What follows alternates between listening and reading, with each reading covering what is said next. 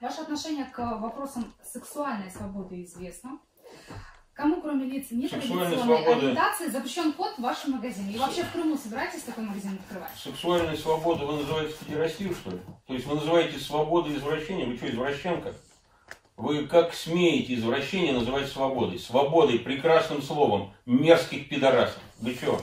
И это делаете в эфире. Какой пример вы подаете телезрителям, особенно молодым? Особенно девкам молодым, бестолковым, которые слушают тех, которые постарше, вот такой, как вы, и будут повторять, что это свобода. Это грязное извращение.